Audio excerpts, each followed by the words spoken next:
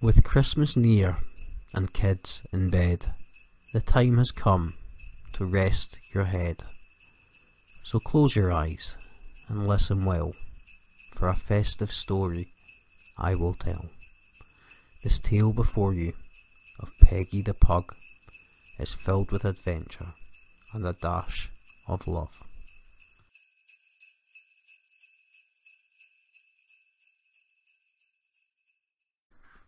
Chapter 1 Peggy the Pug's flat black nose twitched as she napped on the sofa, as carols played softly on the radio and the spicy scent of gingerbread wafted from the kitchen.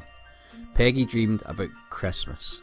It was her favourite time of year because it was in December last year that she'd found her home. The sound of the front door opening jolted Peggy awake. We're home! cried a voice from the hallway followed by a thud of backpacks dropping on the floor. Chloe, thought Peggy, scrambling to her feet, Carly little tail wagging. She raced out to the hallway as fast as her short legs could carry her. Hi, Peggy, cried Chloe, a dark haired girl wrapped up in a coat and woolly scarf. She crouched down on the floor to stroke Peggy's tan coloured fur. I miss you so much when you're at school, Peggy told her best friend. Of course, to Chloe, it just sounded like barking, but Peggy covered her face with kisses, so she understood. Let me pat Peggy too, said Chloe's little sister Ruby. She was clutching a paper snowman decorated with cotton wool balls. Kneeling down next to Chloe, she patted Peggy on the head. Slurp. Peggy licked Ruby's hands affectionately, catching a faint taste of glue. Chloe was Peggy's best friend, but she loved the rest of the family too, and missed them all when they weren't at home. This autumn, there had been a lot of changes in the Jackson family. Ruby had started going to the nursery at Chloe's school. Finn was at high school now, and Mum had opened her very own cafe. Dad worked from home sometimes, like today, but mostly Peggy was at home on her own. How was school, girls? said Dad, coming out of the kitchen with a smudge of flour on his nose. Okay, said Chloe, shrugging her coat off and hanging it on the peg. Hmm, thought Peggy, cocking her head to the side and studying her friend. That's strange. Normally, Chloe chattered about the fun things she'd learned at school and the games she'd played at break time with her friends. Bad, said Ruby. Miss Roberts is horrible and scary. She's a meanie. Of course she isn't, laughed Dad. She has a loud, scary voice and she likes to tell children off, insisted Ruby. Chloe unzipped her little sister's coat and helped her hang it up.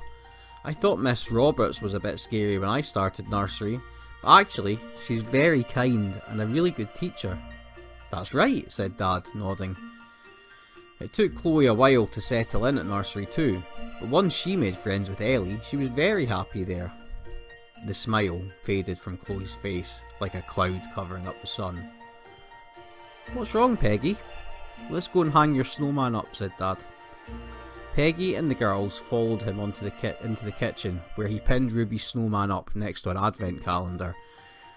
Trays of gingerbread biscuits shaped like stars, reindeer, and Christmas trees were cooling on the kitchen counter.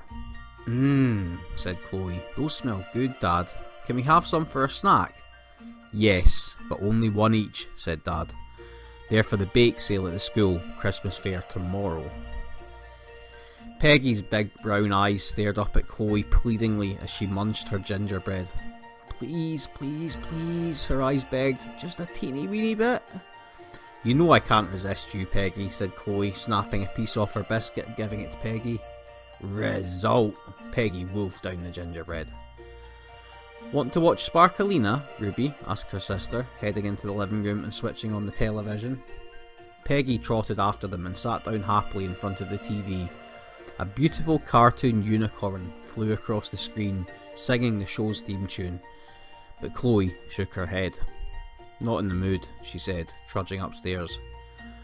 Now Peggy was sure there was something wrong. Sparkalina was Chloe's favourite television programme, if she didn't want to watch it, something must be worrying her. Peggy climbed up the stairs. Chloe's bedroom door was shut, but Peggy could hear muffled sounds coming from inside.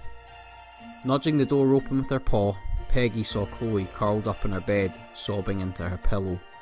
She clambered up in the bed and nestled against Chloe. Today was such a bad day, sobbed Chloe, burying her face in Peggy's fur. Ellie doesn't want to be my friend anymore. There's a new girl named Hannah in my class, and now the two of them are doing everything together. They sat together at lunchtime and picked each other for partners in PE. Peggy licked the salty tears off Chloe's cheek. She hated to see her so upset.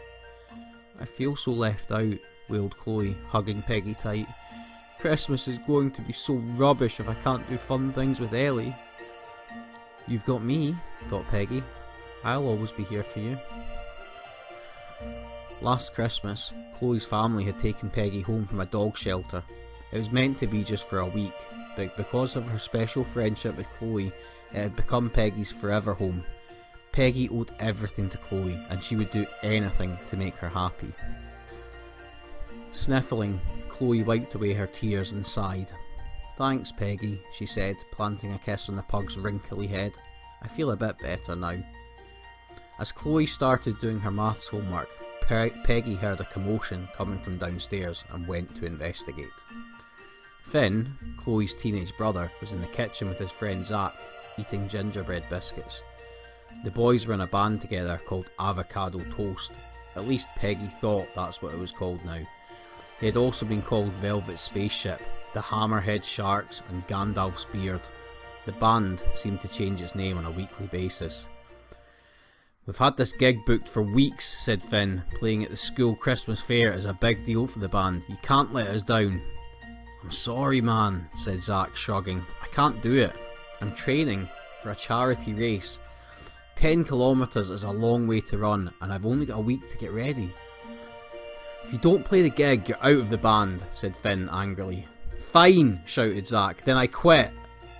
He grabbed his guitar case and stormed out of the house. What's all this shouting? said Dad, coming into the kitchen holding his laptop. He stared at the crumbs on the now empty cooling racks. And who's eating all the gingerbread? Sorry, Dad, said Finn. I was hungry. Great, said Dad, looking cross. I don't have time to make any more. I've got to finish this presentation for work. Now what am I going to bring to the school fair? A short while later, Mum came home from the cafe, dropping a bag of food containers on the kitchen table. Dinner time, she called up the stairs. As they all sat around the table, Mum unpacked the plastic containers of sandwiches, sausage rolls, and salads. Leftovers from the cafe again, complained Finn. Business still slow? Dad asked Mum. Mum nodded, looking worried. I barely had any customers today. Chloe picked up her food, listlessly. Even though she usually loved sausage rolls. She's still upset about Ellie, thought Peggy. I'm sure business will pick up, said Dad, once word gets around and people taste your delicious food. I hope so, said Mum gloomily. Otherwise I won't be able to repay the bank loan. Mummy, said Ruby, for Christmas can I have a scooter? Oh, and a new teacher. Christmas? Mum groaned, burying her head in her hands. As if we didn't have enough to worry about already. I can't believe it's only two weeks away. Peggy looked from one member of her family to another. Christmas was supposed to be the happiest time of the year. Why did everyone look so sad and worried?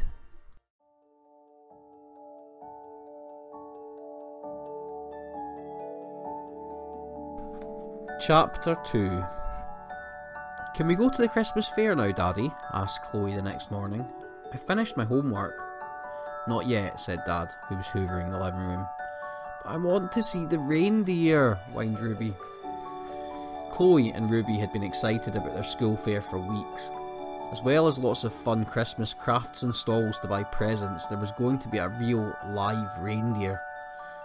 When Dad had finished his chores, he and the girls put on their coats. Take me too, whimpered Peggy. Mum was at the cafe, and Finn had already gone to the fair to set up his drum kit. Peggy didn't want to be stuck at home on her own. Can we take Peggy, Dad? asked Chloe. That's not a bad idea, said Dad. She could use a walk. Hooray, thought Peggy as Chloe clipped her on her lead. We need to stop at Mum's cafe on the way and pick up some treats for the cake stall, said Dad. Walking briskly because it was cold, they headed into the town centre and stopped outside a small cafe with a sign that said Tasty Treats. Dad pushed the door open and they all stepped into the warmth. Looking around, Peggy saw a glass display cabinet filled with a mouth-watering display of cakes, pastries and sandwich fillings. There was a bright red poinsettia on every table and garlands of gold tinsel decorated the walls. This is lovely, thought Peggy, but Mum, who was wiping down the counter, didn't look very cheerful. Oh dear, said Dad. Is it still slow? Mum nodded gloomily. I've only had two customers this morning. Everyone's probably doing Christmas shopping, said Chloe. They'll come later on. I hope so, said Mum. Reaching underneath the counter, she pulled out a box and handed it to Dad. Here are some mince pies for the school fete. Sighing, she added, it's not as if I'll be needing them at this rate. They left the cafe, and Peggy trotted by Chloe's side as they walked to the primary school. Oh wow, said Chloe as they entered the school hall. It's been transformed into a winter wonderland with snowflake decorations hanging down from the ceiling. Children shrieked excitedly, spending their pocket money on sweets, face painting, and the second hand toy stall, while their parents sipped mulled wine and chatted. The school choir was singing carols on the stage as Finn and his band mate Jasmine set up their instruments. Can we go outside and see the reindeer? asked Chloe. Sure, said Dad. I'm going to drop the mince pies off at the cake stall. Holding Peggy's lead, Chloe guided Ruby through the crowded hall and out to the playground. A pen had been set up on the playing fields, and inside it, two big animals were nibbling the grass. Reindeer! cried Ruby, running over to the pen. Chloe joined the children clustered around the fence. Peggy stuck her head through the railings and peered up at the reindeer. Their thick, shaggy fur was light brown and they had velvety antlers. Holly is a smaller one, explained the reindeer handler, and Noel, or Noel, is the one with bigger antlers. Peggy gasped at the reindeer. She thought they were beautiful. It's rude to stare, said Noel. Sorry, said Peggy. I just love your antlers. Why thank you, said Noel. They are looking rather impressive this year. I like your curly tail, said Holly. The reindeer handler gave Chloe and Ruby some slices of carrot and the girls offered them to the reindeer on their palms. Carrots again, sighed Noel. I really fancied mushrooms or some Brussels sprouts. That tickles, giggled Chloe as Holly's soft lips nuzzled her hands to gobble up the carrot. Reindeer come from the North Pole, the reindeer handler informed the children. Don't they get cold? Asked Ruby. Their fur keeps them warm, said the reindeer handler, and they have specially shaped hooves to help them walk in the snow. Peggy peered at the reindeer curiously. Where are your wings? she asked them. She wondered if they were tucked up against their sides. Uh, what wings? asked Holly, confused. I thought reindeer could fly, said Peggy. Chloe had told her stories about Rudolph and all the other reindeer flying Santa's sleigh through the sky on Christmas Eve.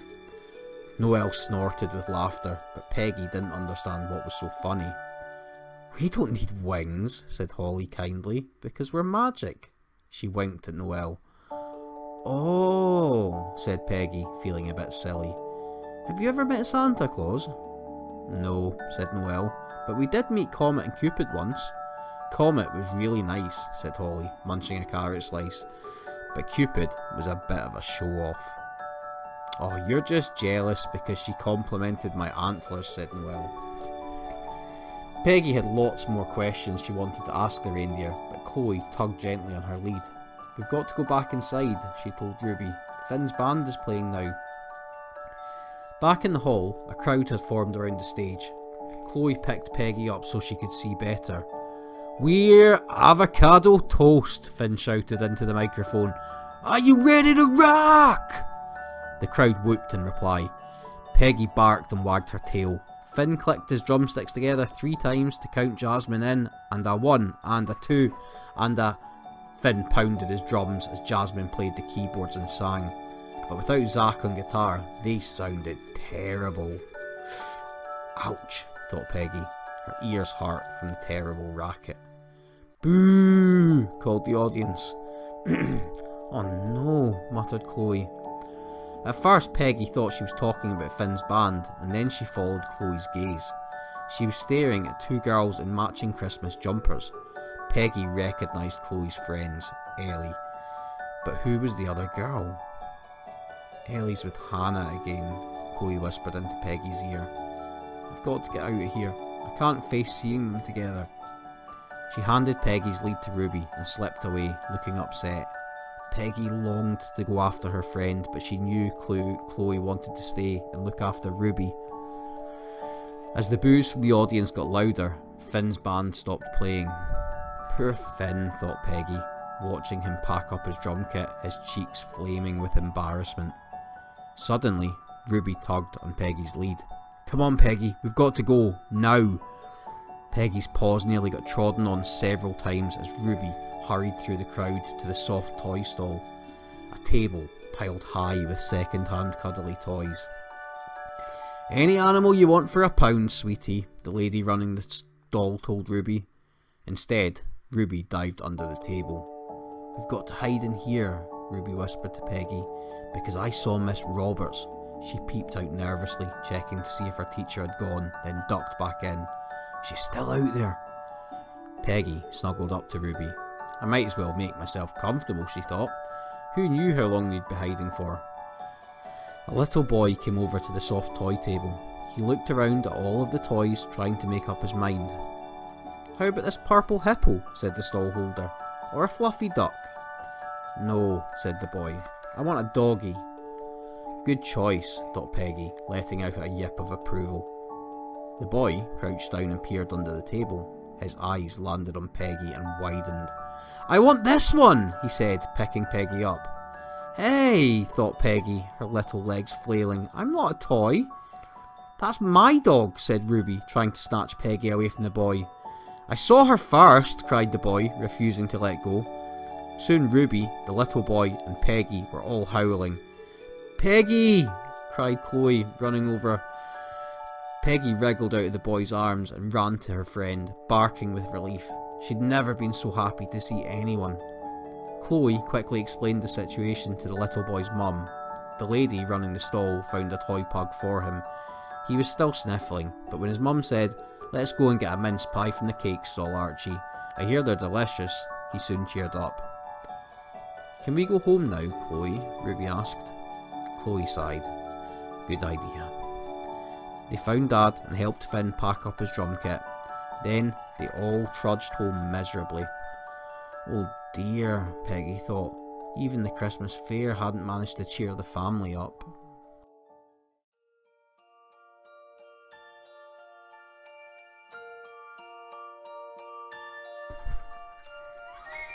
That night, Peggy tossed and turned on Chloe's bed, but it wasn't because of the strong winds blowing outside. She couldn't fall asleep because she was worried. Chloe had been so unhappy after the school fair, and even cuddles from Peggy hadn't cheered her up. What can I do to help? wondered Peggy as she lay awake next to Chloe thinking about the fair. Peggy remembered what Holly and Noel had told her about reindeer being magic. If she were magic too, she could make Chloe and her family happy for Christmas. That's it! Peggy thought, sitting up in bed, her whiskers quivering with excitement. I'll become a reindeer! Snuggling up against Chloe again, Peggy wondered if she'd still be able to sleep on her friend's bed when she was a reindeer. I'll probably be too big, she realised. That made her feel a bit sad, but it was a sacrifice Peggy was willing to make to become magic. It was the best way she could think of to help the person she loved the most in the world. Relieved that she had a plan, Peggy finally fell fast asleep. The next morning, Peggy stared at her reflection in the mirror on the back of Chloe's wardrobe door. Her tan fur was almost the same colour as the reindeer's, but that was where the similarities ended. Peggy frowned, making her forehead even more wrinkled. I need antlers, she thought. She headed downstairs for breakfast. Chloe, Ruby, and Finn were already in the kitchen eating pancakes. Do you want to invite Ellie over to play this afternoon? Mum asked Chloe. No, Chloe shook her head. When Mum looked at her curiously, Chloe added, She's, um, busy. Then you can all help me with the chores, announced Dad. The children groaned, but Dad said, There was a storm last night, so I need you kids to rake up the debris. After breakfast, Peggy followed the children out into the garden. The lawn was strewn with leaves and twigs that had blown down in the gales overnight. A big striped ginger cat was sitting on top of the garden fence. Hi, Tiger, Peggy called up to him. Tiger just narrowed his green eyes and sniffed in a superior manner.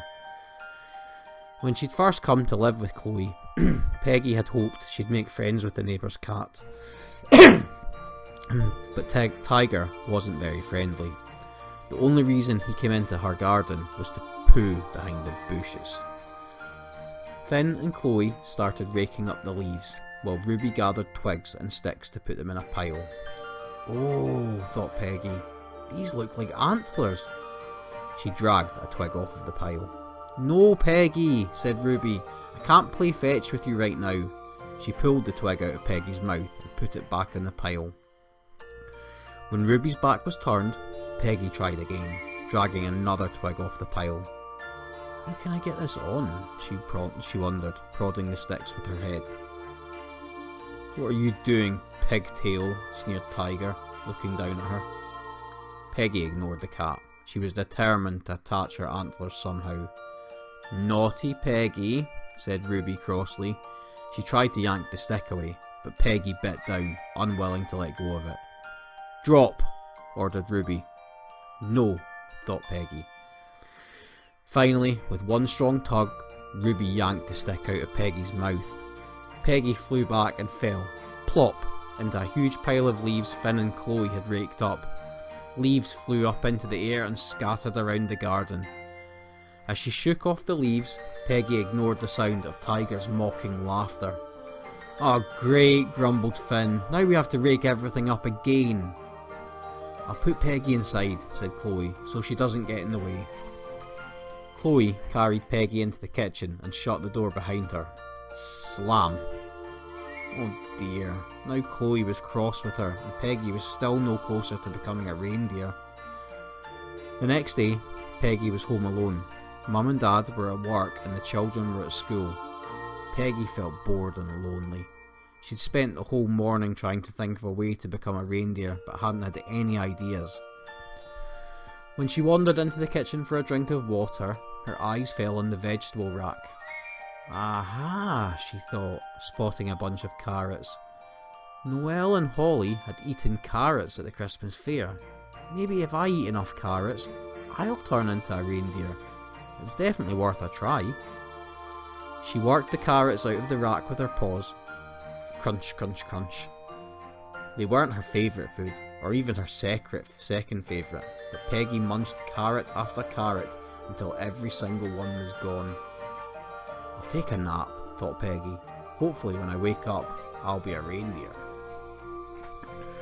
Groan. We're home, called Chloe. Peggy staggered to her feet, her belly charmed and her head felt dizzy. I must be transforming into a reindeer, she told herself. She stumbled into the hallway to greet Chloe and blah! Peggy threw up all over the floor. Ew, said Ruby, holding her nose. Looks like Peggy got into the carrots, sighed Dad, looking down at the orange puddle. Oh, you poor little thing, cried Chloe, picking Peggy up. Wait a minute, thought Peggy. Reindeer were big. If Chloe could still pick her up, it meant her plan hadn't worked. Despite eating a whole bunch of carrots, she was still a pug. Peggy whimpered, whimpered, feeling terrible. Don't worry, Peg, said Chloe, stroking her head. I'll take care of you. As Dad cleaned up the mess, Chloe gave Peggy some water and took her upstairs. She held Peggy on her lap, stroking her back. I had a bad day too, Chloe whispered. I heard Ellie and Hannah talking about how much fun they had at the school fair. She sighed sadly. I was really looking forward to doing fun stuff with Ellie over the Christmas holidays, but now she only wants to hang out with Hannah. Now, it wasn't just Peggy's tummy that hurt, her heart ached too. I have to find a way to become a reindeer, she thought. I need magic to make Chloe happy again. Peggy's tummy felt much better the next day, but she still hadn't found a way to become a reindeer. After school, Chloe and Ruby were making Christmas cards in the kitchen. Peggy sat by the table watching them paint. Is that a card for Ellie? asked Ruby, dipping her paintbrush in yellow paint. Chloe shook her head.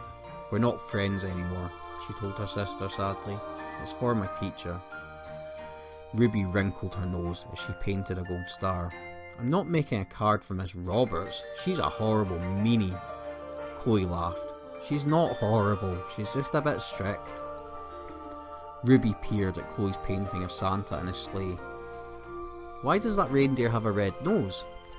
Duh, said Chloe. It's Rudolph. He's Santa's most magical reindeer. Peggy's ears perked up with interest. Hmm, she thought. Maybe if I had a red nose, I'd be as magical as Rudolph. She watched Chloe dab red paint on the jolly looking Santa. Suddenly, she knew what to do. Leaping up on the table, Peggy knocked the yellow and green paint on the floor as she buried her nose in the pot of red paint. Hey! cried Chloe, what are you doing? Peggy looked up, dripping red paint all over the girl's cards. Am I a reindeer now? She wondered hopefully. She glanced at her reflection in the oven door. A pug with paint all over her furry face stared back at her. My cards! wailed Ruby. Peggy ruined my Christmas cards. Dad ran into the kitchen.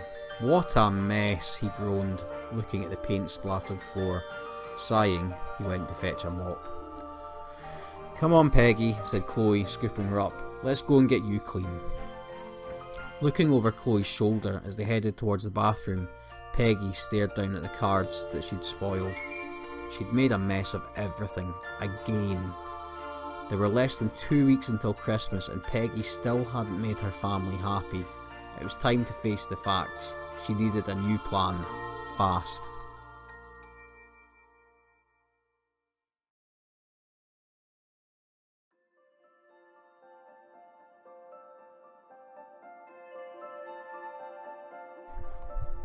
Peggy woke up bright and early the next morning.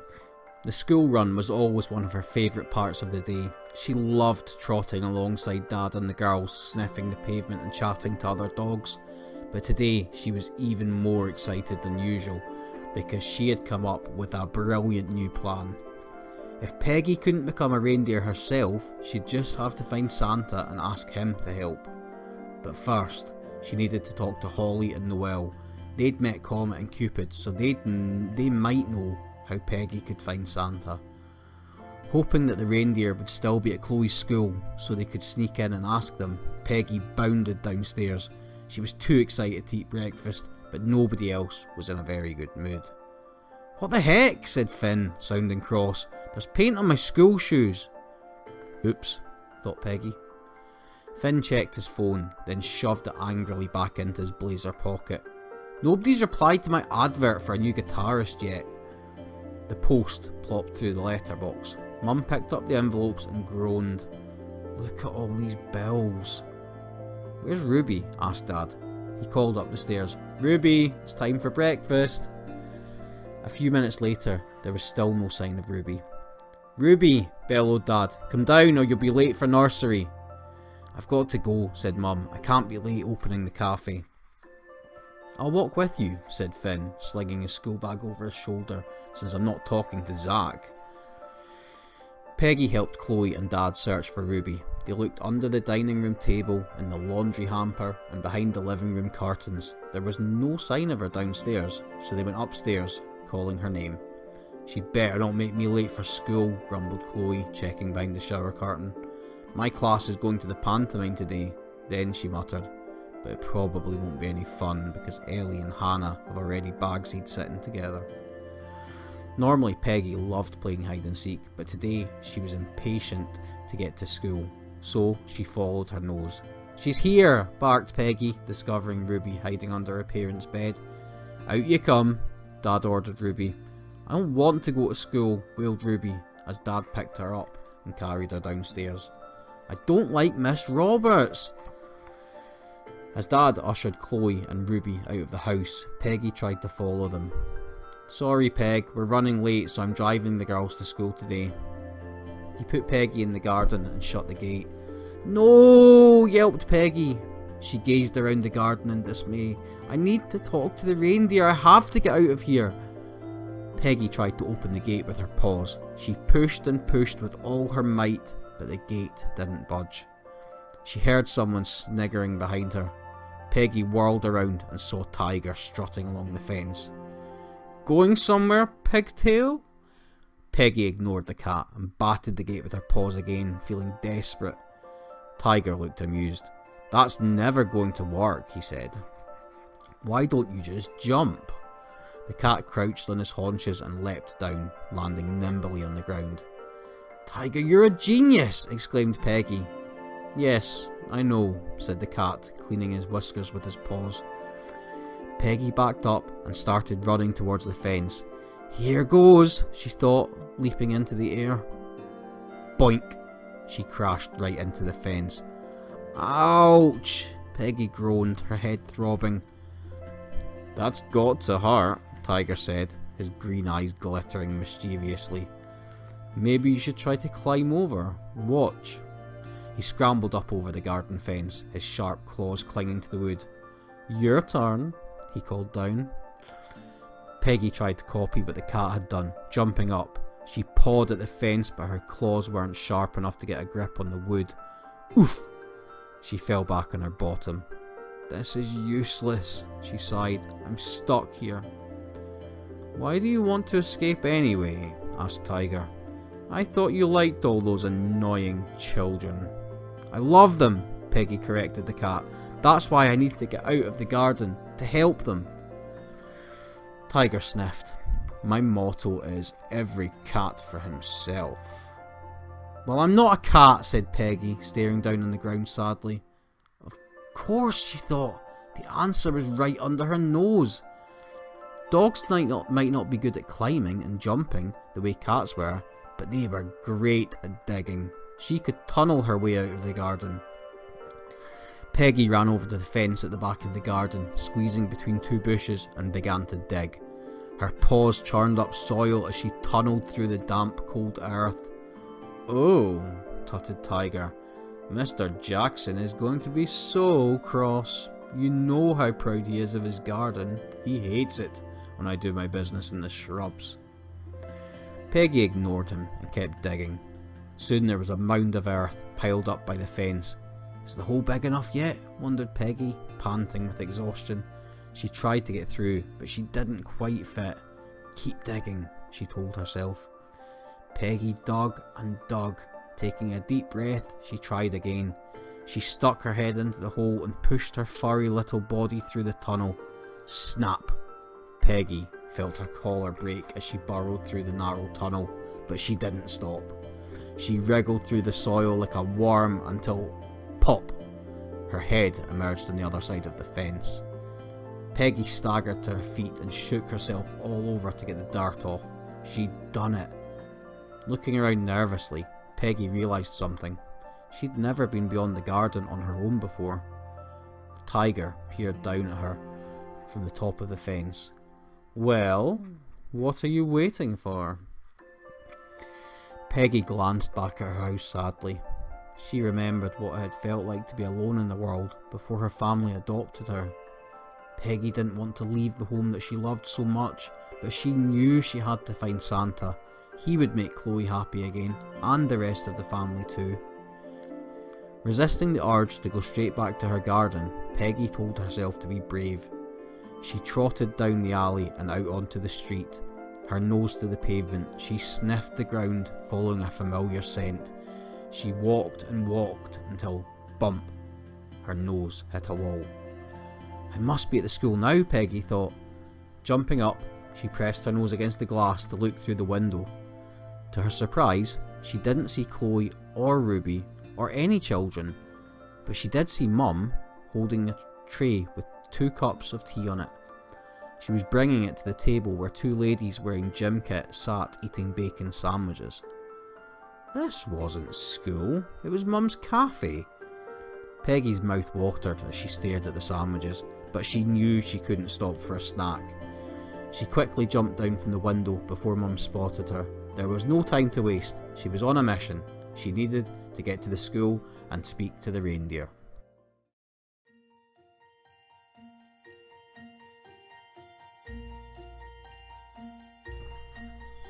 Peggy looked from right to left, trying to remember the way they'd walked from the cafe to school on that day of the Christmas fair.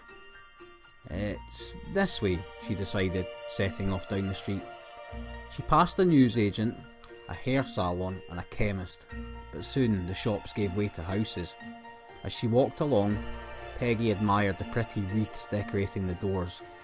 One house even had a huge inflatable snowman on the lawn. When she came to a crossing, Peggy wasn't sure which way to go. She thought for a moment. I'd better turn right, she reasoned, because I want to go the right way. Feeling very clever, she turned right every time she came to a crossing. Soon, all the houses began to look the same to her. Oh wow, thought Peggy. There's another house with a snowman. She stopped and took a closer look. The inflatable snowman had a black top hat and a carrot nose, just like the one she'd seen before. There was a tricycle in the front garden and a red car parked in the drive, just as there, had been at the other house. Wait a minute. This was the very same snowman she'd seen before. I've been going round in circles, she suddenly realised. Peggy sniffed the ground. She could smell all sorts of interesting scents, but she couldn't catch even the faintest whiff of her family. Peggy's paws ached and her tummy rumbled. She regretted not eating any breakfast. Exhausted, she plopped down on the edge of the front garden for a rest. Face it, she told herself, you're lost. Woof woof woof! An enormous Doberman came thundering across the grass, his ears pricked up and his eyes flashing. Get off my lawn! He growled, straining on the long rope that was attached to his spiked collar. Terrified, Peggy leapt to her paws. For a second, she stood, stood frozen, too scared to move. The massive dog bared his sharp teeth, slobber dripping from his jaws, big enough to swallow Peggy in one bite. What are you waiting for? he snarled, lunging forward menacingly. Without looking, Peggy ran straight into the street. Beep beep beep! A car swerved out of the way, narrowly missing Peggy. Stupid mutt! The driver shouted out of the window angrily. Peggy raced to the other side of the road and collapsed on the pavement. She began to sob. Do you have a death wish or something? asked a voice coming from above her. Sniffling, Peggy looked up. A squirrel sat on a tree branch overhead, studying her with beady black eyes. Oh dear, he said sympathetically, scampering down the tree trunk. It can't be as bad as you think it is. Now dry those eyes. He went on, using his fluffy grey tail to wipe away Peggy's tears, and tell Andy what's wrong. I'm lost, wailed Peggy. I was trying to find Chloe's school, but I went the wrong way. What's a school? asked the squirrel. It's where lots of children go to learn and play, explained Peggy. Oh, said Andy. I know where that is. In fact, I was just heading there myself. Want to come with me? Yes, please, yelped Peggy, relief flooding through her. That would be amazing. She scrambled to her feet and hurried after the squirrel, whose tail bobbed ahead of her. Hey, she panted as something occurred to her. I thought squirrels were supposed to be scared of dogs. I saw you run away from that big dog, Andy chuckled, his whiskers twitching. You're about as scary as a butterfly. The squirrel scampered through a set of big iron gates. He headed across the grass to a cluster of trees and scratched his head with his paw. I know I buried some acorns around here a few months ago. Now, where was it? Peggy gazed around her, confused. Um. Oh, sorry, said Andy. I nearly forgot. The school's over there, he said, pointing with one of his paws before bounding off in search of his nuts. Peggy hurried off in the direction Andy had pointed. Soon, she heard the excited shrieks of children playing. But when she got there, her heart sank. There were lots of children swinging on swings, spinning on a roundabout and dangling from monkey bars. But this wasn't a school, it was a playground. Andy had taken her to the park. Doggy! cried a little girl, spotting Peggy from the top of the slide.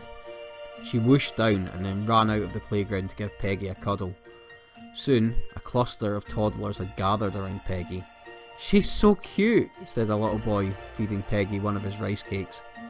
Her face is all wrinkly, giggled a little girl, just like my granny's.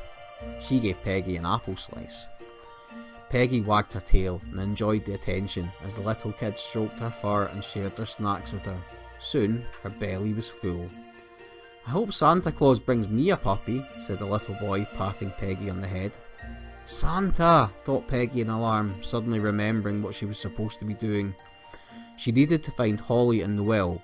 Bolting down a final piece of cheesecake sandwich, she wriggled away from the little kids and ran to the park gates. She decided to head in the opposite direction to the one she and Andy had come from. As she walked, she noticed a girl carrying a backpack, just like the one Chloe took to school. I'll follow her, thought Peggy. She's probably going to school. She trotted after the girl. Before long, she turned down a front path and rang the doorbell of a house with a red door. A lady opened the door and gave the girl a hug. Hi, honey, she said. How was school? Uh oh, thought Peggy. School was over for the day. The gates would be locked. Now she wouldn't be able to ask Holly and Noel for help. This was a disaster. As she trudged along the quiet streets, trying to work out what to do next, Christmas trees glowed from the front rooms of houses she passed. Peggy swallowed hard, trying not to cry as she thought of her own cosy home. Chloe would be getting back from school and finding her gone.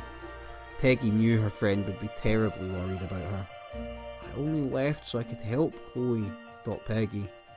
She glanced up at the sky. It was already beginning to get dark.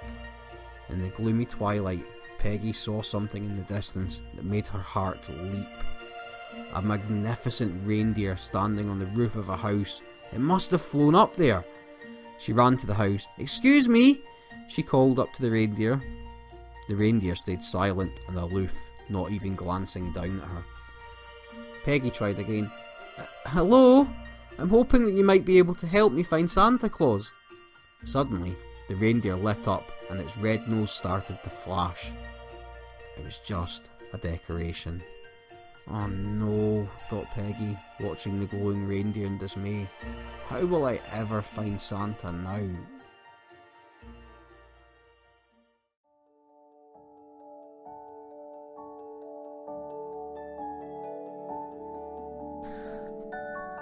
Peggy sat down on the cold pavement. All she wanted to do was go home, but she had no idea how to get there.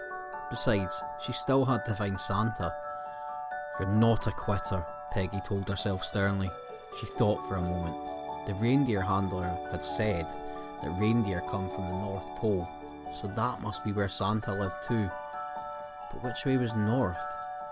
As she was trying to decide which way to go, Peggy heard a loud crash. It seemed to have come from behind the house. Peggy jumped up in alarm and peeked nervously down the side passage. In the moonlight, she could see two dustbins. One had been knocked over and its contents were strewn all over the ground. Over the rubbish loomed the shadow of a huge, terrifying wolf. Peggy gasped. The wolf's pointy ears twitched as it turned its head to look at her. Peggy saw that it had reddish fur, a black nose, and a bushy tail. It was much smaller than its shadow because it wasn't a wolf at all, it was a fox. How do you do? said the fox. I'm Vicky. She dabbed her whiskers daintily with her back, back of her paw and gestured to a pile of rotting eggshells, fish bones, and mouldy banana peel. Would you care to join me for supper? There's more than enough to go around. Uh, no thank you, said Peggy. Mum and Dad were always complaining about foxes, but Peggy was, Peggy was surprised. For a wild animal, Vicky seemed very polite. Peggy went over and sat down next to her, trying to ignore the reek of rotten food. What are you doing out here at night? asked Vicky. You don't look like a stray. Don't you have a home? Yes, Peggy said sadly. But I can't go back until I've found a way to help my family. I understand, said Vicky, nodding. I have three dear little babies of my own. I'd do anything for them. She gestured to a chicken carcass with her paw. Chicken is my favourite, but I'm saving this for the kiddies back in my den. Are you trying to find dinner for your family? No, I'm trying to find Santa Claus, said Peggy. He lives at the North Pole. Have you ever been there? Vicky shook her head. But I do have a distant cousin who lives in the Arctic. I believe that's near the North Pole. Do you know how to get there? Peggy asked eagerly. Hmm, said Vicky, thinking. She glanced up and Peggy followed her gaze. It was a clear night and the stars shone brightly in the sky. We foxes use the stars to guide us on our way, explained Vicky. Do you see that very bright star just underneath the moon? She pointed with her paw. Peggy nodded. That's the North Star. If you follow it, I'm sure you'll find your way to the North Pole. Peggy gazed in wonder at the North Star, twinkling like a diamond against the inky black sky. Thank you very much, she told the fox. You've been so helpful. I suppose I'd better be heading off now. Are you sure you don't want a bite to eat before you go? asked Vicky, offering Peggy a pile of potato peelings. You've got a long journey ahead of you. Uh, no thank you, said Peggy. Save it for your babies. With the North Star lighting her way, Peggy set off for the North Pole. It was bitterly cold and her paws were sore, but Peggy didn't mind. Each step she took was taking her closer to Santa. As she walked, Peggy kept her eyes on the sky. In less than a week's time, Santa Claus would be flying across it on his Christmas Eve journey, delivering presents to all the good boys and girls. Peggy hoped she'd be able to reach the North Pole before then, as she hated the thought of Chloe being unhappy on Christmas Day. She remembered how delighted Chloe, Finn, and Ruby had been last year when they'd opened their presents. The evening wore on, and the sky grew cloudy, dimming the starlight. Something cold and white landed on Peggy's nose. A snowflake! I must be getting closer to the North Pole, thought Peggy, as snow began to fall, dusting the pavement with fluffy white flakes. Soon it got harder and harder for Peggy's short legs to trudge through the snow. By now, the sky was too overcast to see the North Star. I can't go any farther, Peggy realised. She climbed onto the doorstep of the nearest house.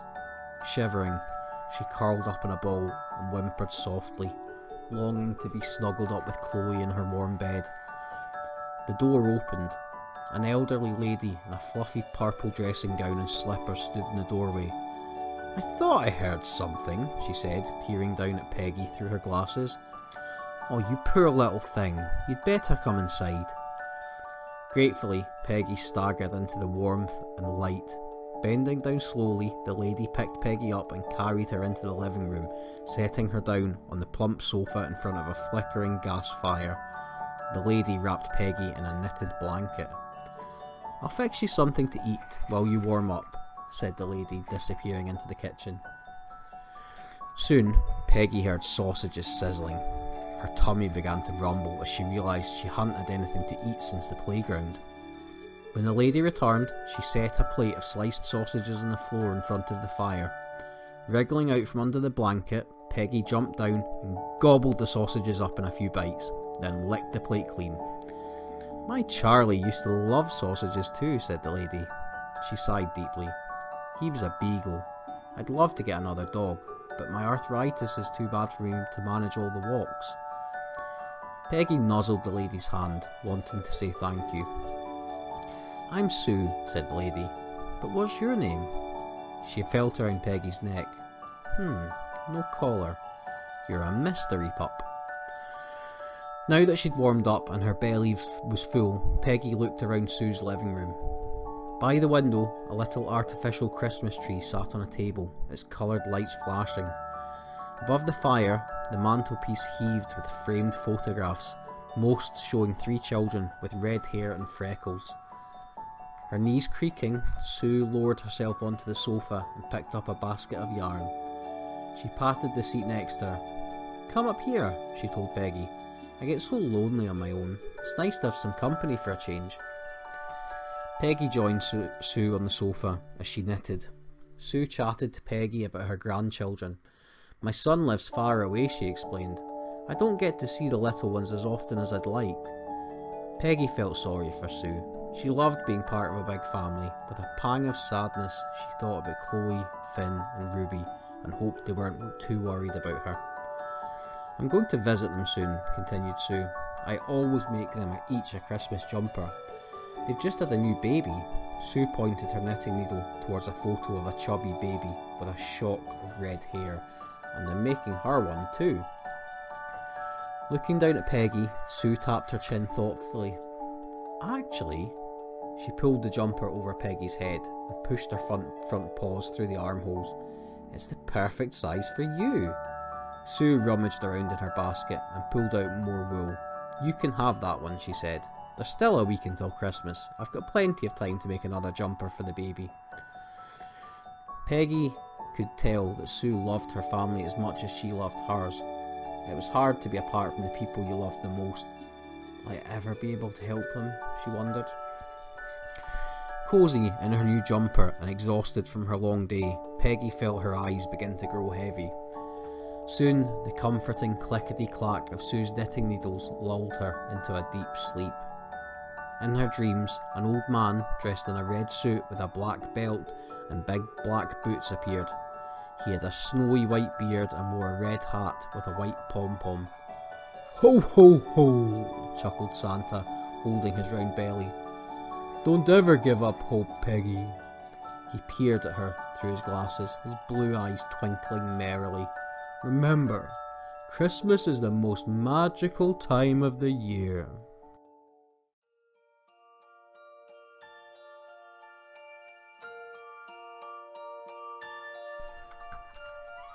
Peggy woke to the smell of something delicious.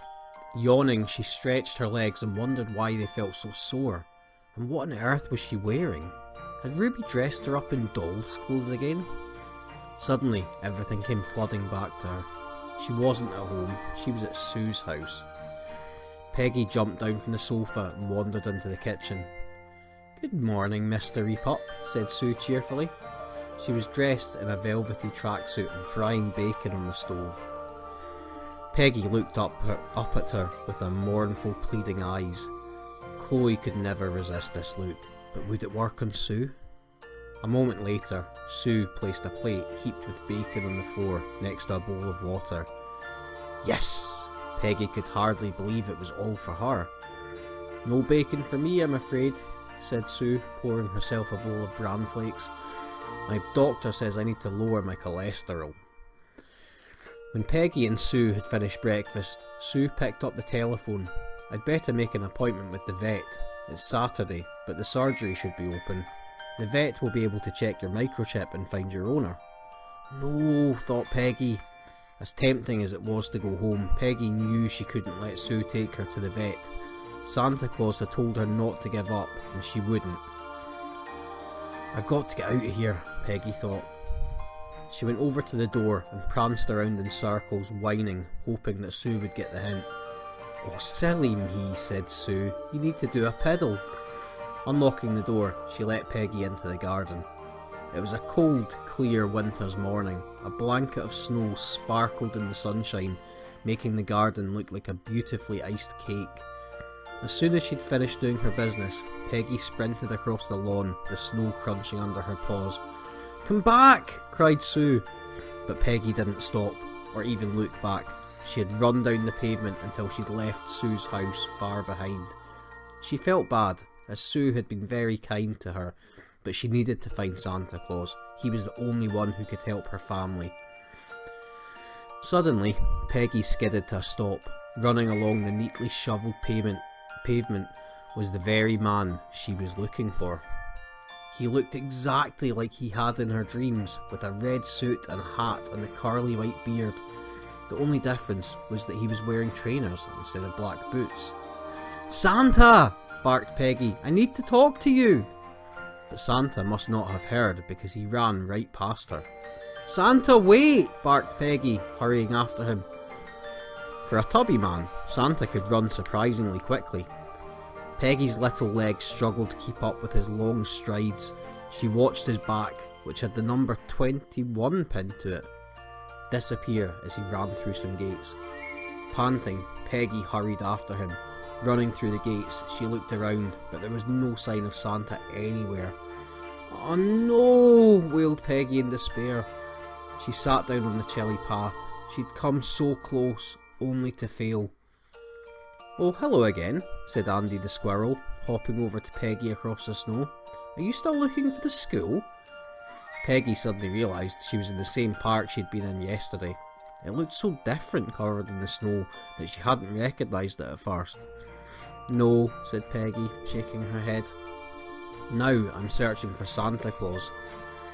What does he look like? asked Andy. He's got a red suit and a white beard, said Peggy. She sighed. I nearly found him, but he was running too fast and I lost him. Well, you're in luck, said Andy. He pointed with his paw, because he's right over there.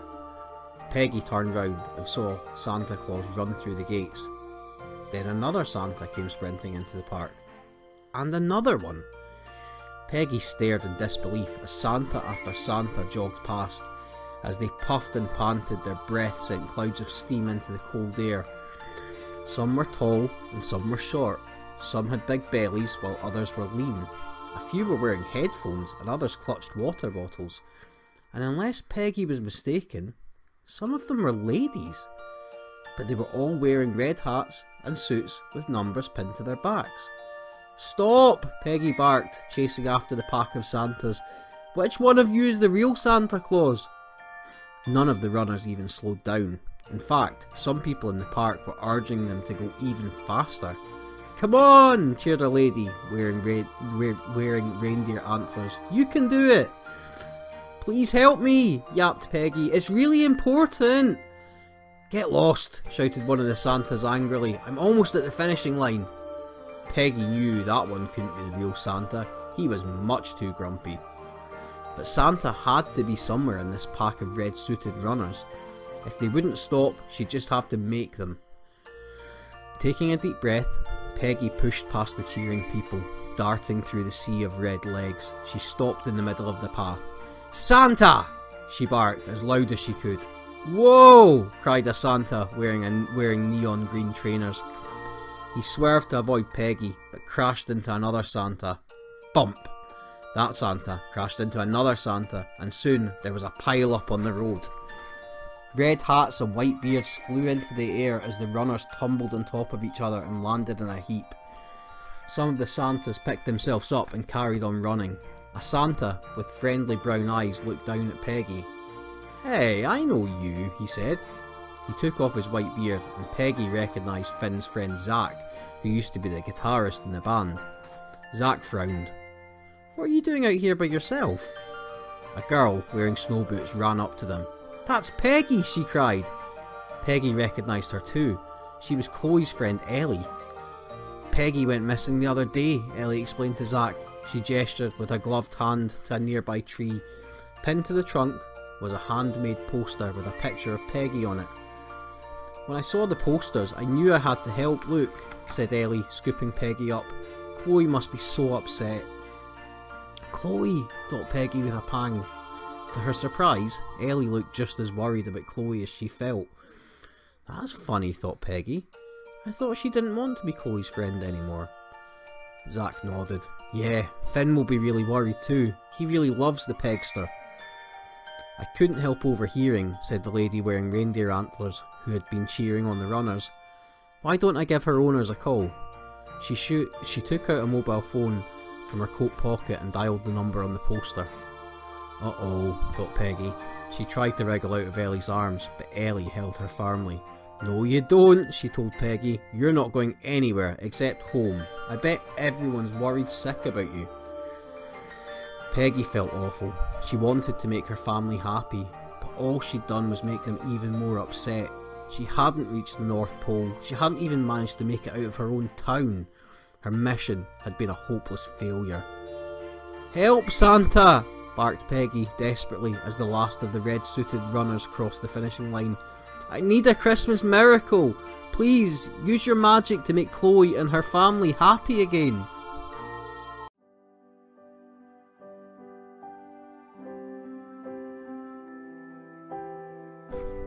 There she is! Peggy's ears pricked up at the sound of a familiar voice. Peering over Ellie's shoulder, she saw Chloe sprinting towards her, with Finn right behind. Mum and Dad, holding Ruby's hand, were hurrying down the path after them. And they all had huge smiles on their faces.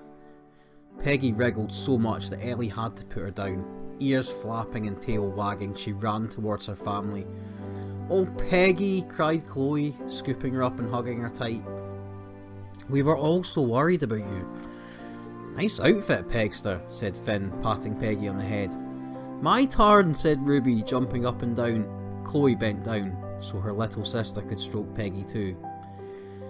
Peggy's heart felt like it was going to burst. Her family weren't angry with her for running away, they just seemed overjoyed to have her back. Thanks so much for finding Peggy, said Mum to the lady with the mobile phone. It's these two you should thank, said the lady, gesturing to Ellie and Zach. Mum suddenly did a double take.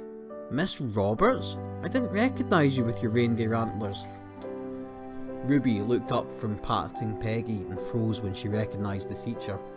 Miss Roberts smiled. My friend was running in the race, so I thought I'd cheer her on. She crouched down. Is it okay if I stroke Peggy too? Ruby nodded nervously. Miss Roberts tickled Peggy behind the ears and Peggy licked her hand. You're so lucky to have Peggy, said Miss Roberts. I'd love to get a dog, but I live in a flat without a garden. You like animals? asked Ruby shyly. Her teacher nodded. I love animals. I have a cat named Willow. As Ruby told her teacher all about Peggy, runners wearing medals and proud smiles began to make their way out of the park. I'm sorry you didn't get to finish the race, Finn said, Finn said to ja.